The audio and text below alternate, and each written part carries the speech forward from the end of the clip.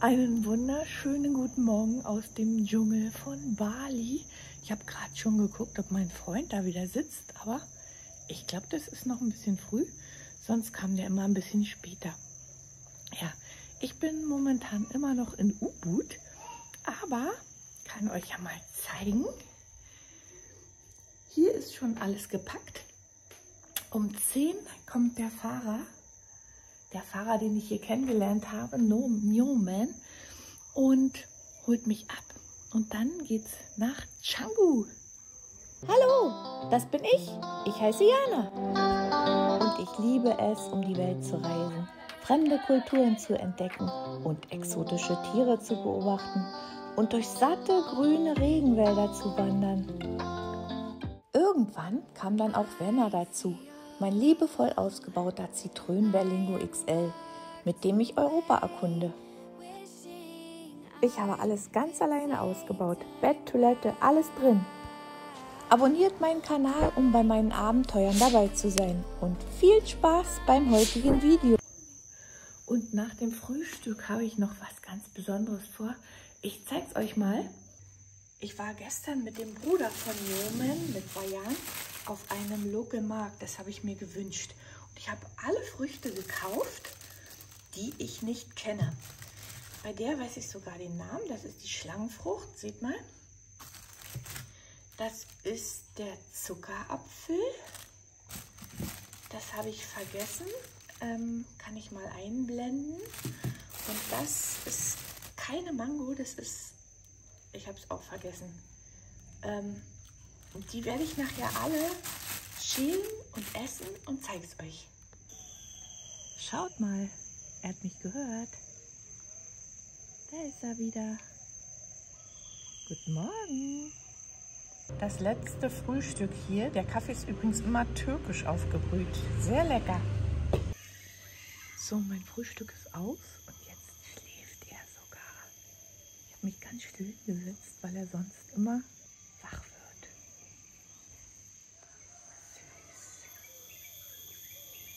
Süß. So, die Stunde der Wahrheit ist gekommen. Ich habe ein super Messer und einen Löffel. Ich habe leider kein anderes. Und ich habe ein Pineapple Juice, falls es ganz schlimm kommt zum Nachspülen. Ich fange mal an mit dem Zuckerapfel.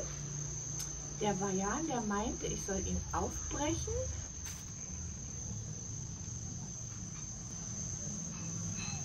So. Okay. Da sind ganz viele Kerne drin.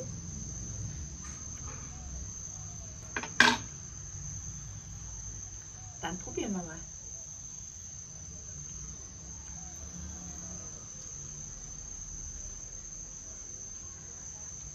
Die Kerne sind ganz hart. Und die Frucht schmeckt vielleicht so ein bisschen so ähnlich wie Mangostin. Und so sehen die Kerne aus. Die nehme mit nach Hause und pflanze sie ein. So, das nächste ist die Schlangenfrucht. Die hat halt eine sehr harte Schale.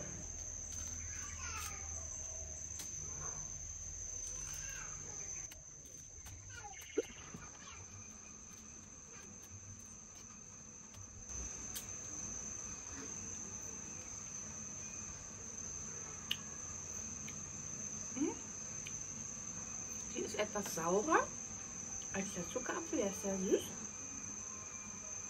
Und von der Konsistenz her so ein bisschen wie ein deutscher Apfel.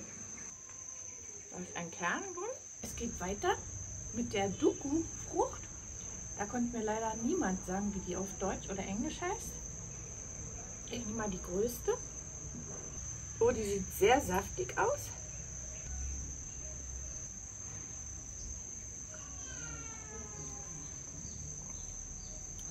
Von der Konsistenz her so wie Litchi. Und die schmeckt. Oh, die Kerne sind bitter. Also man muss aufpassen, dass man die Kerne nicht mit isst. Die sind sehr bitter. Ja, die schmeckt, weiß auch nicht, vielleicht wie eine Grape. Bisschen tropisch vielleicht, aber nicht sehr stark aromatisch. Jetzt die Wani-Frucht, hat er gesagt, ich soll die wie eine Mango aufschneiden. Macht sich natürlich besonders gut mit dem Messer hier. Ist sehr saftig, hat einen großen Kern drin, wie eine Mango. Sie riecht sehr tropisch. Hat jetzt natürlich auf dem Markt die reifesten Früchte rausgesucht.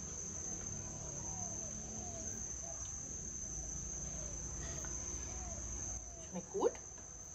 Von der Konsistenz her wie eine reife Mango, vielleicht nicht ganz so strähnig.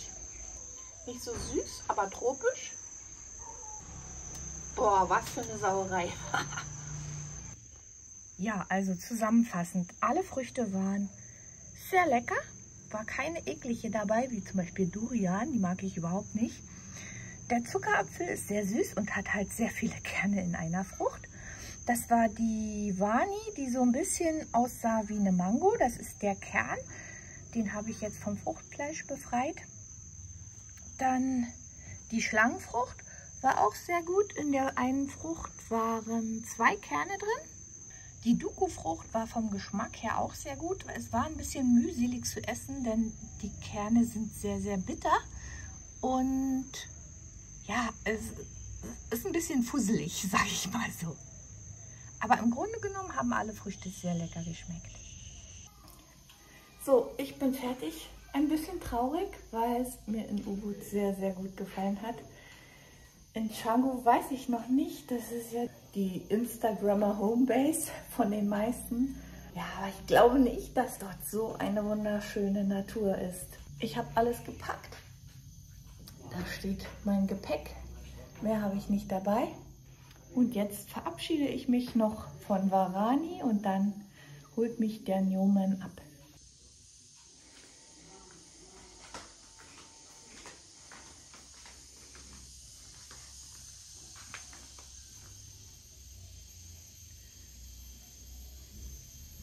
Tschüss, mein Freund. Schön, dass du heute auf mich gewartet hast. Ciao. Das ist übrigens der Eingang hier, der Eingangsbereich und die Rezeption. So, na dann, tschüss, hier gerade rüber ist auch ein Kindergarten. Und dann will ich mal schauen. Nun, Newman müsste hier um die Ecke kommen. Allerdings nicht mit einem Moped, sondern mit einem Auto.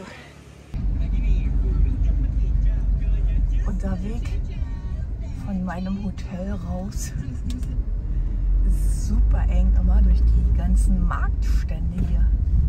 Wenn da ein Auto von vorn kommt, ist nichts möglich.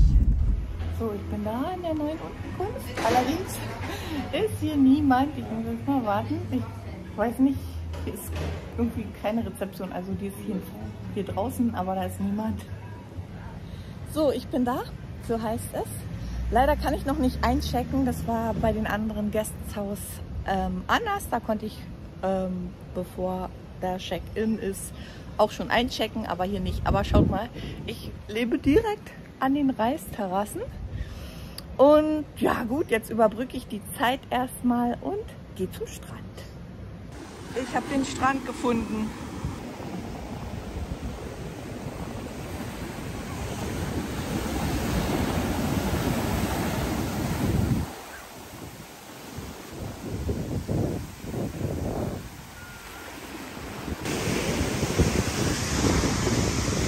Hoffe, ihr hört mich. In den deutschen Medien kursieren gerade viele Videos. Bali wird von Müll überschwemmt. Dazu wollte ich mal was sagen. Also klar haben die ja ein Müllproblem, wie in ganz Asien, Afrika und Südamerika. Aber das, was dort gezeigt wird, kann ich hier so nicht bestätigen. Ihr seht, der Strand ist relativ sauber und ja, ich weiß nicht, wo diese Videos aufgenommen wurden. Vielleicht weiß es jemand von euch und kann es mal in die Kommentare schreiben. Vor allem wurde gesagt, dass die Flüsse von Müll überschwemmt wurden. Ich habe die Videos auch gesehen und hier ist, also hier geht vom Meer aus ein Fluss ab. Ich zeige es euch mal. Und natürlich gibt es hier Müll. Also das ist hier so ein Bambus-Dingens. Aber das, was dort in den Medien gezeigt wurde, das kann ich so überhaupt gar nicht bestätigen. Und hier ist der Fluss. Ihr seht, hier baden die Kinder, die balinesischen. Hier sind Opfergaben. Direkt hier am Strand. Ein kurzes Statement von der ersten Minute hier in Canggu. Äh, U-Boot gefällt mir besser. Mal sehen, was ich nach zwei Tagen sage. Parken am Strand kostet hier 29 Cent. So, ich bin erstmal eingekehrt. Ich habe mir jetzt vorgenommen, nicht mal jeden Tag zweimal Mittagessen zu essen, sondern irgendwie vielleicht was Gesundes. Und habe hier Granola mit Joghurt und Früchte und ein Erdbeer-Drink. Keine Ahnung, mit Erdbeeren und Soda und kostet übrigens 3,92 Euro beides zusammen. Roomtour Canggu. Also hier ist der Pool und hier ist mein Zimmer. Mit Klimaanlage diesmal sogar. Schreibtisch. Schrank. Ich war selbst noch nicht im Bad. oh, groß. That's it. Oh, lecker zum Nachmittagskaffee gibt es eine Acai Bowl. So, bevor ich jetzt nach vorne gehe für den Sonnenuntergang, wollte ich euch mal einmal hier zeigen, wie es hier aussieht. Realität auf YouTube. Für noch mehr Realität, hier ist Baden gerade verboten, da hängt die rote Fahne und die Rettungsschwimmer pfeifen, wenn hier jemand etwas weiter ins Meer geht. Das ist genau mein Ding hier.